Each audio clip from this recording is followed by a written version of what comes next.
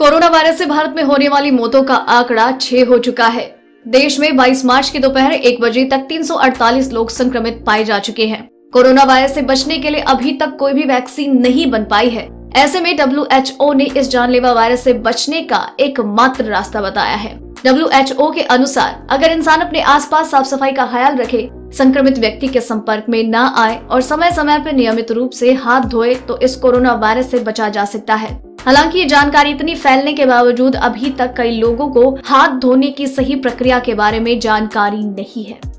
क्या है हाथ धोने का सही तरीका? हाथ धोते वक्त हथेलियों को आपस में रगड़े, दोनों हाथों की उंगलियों को जोड़कर मले, अंगूठे को अच्छी तरह से हल्के हल्के रगड़ना ना भूले, हाथ के पिछले हिस्से पर भी साबुन लगाए, हाथों को कलाई तक धोए। हाथ धोने के बाद उन्हें अच्छी तरीके से किसी साफ़ कपड़े या तौलिए से पूछे। कुछ लोग जल्दबाजी में इस प्रक्रिया के तहत हाथ नहीं धोते। हाथ कब धोना ज़रूरी? आँख, नाक या मुँह पर हाथ लगाने के बाद हाथों को तुरंत धोएँ। मुँह पर हाथ रखकर खांसने या छींकने के बाद हमेशा हाथ धोएँ। खाना खाने से पहले हाथ ज़रूर धोएँ।